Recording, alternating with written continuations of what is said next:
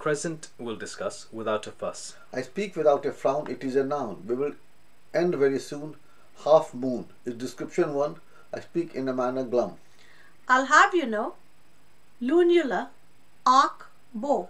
Awards three we can see. I can very safely bet demi-lune, lunette. Awards two, in my view. I don't need to sit here and gape, curve, sickle shape. A descriptions two in my view.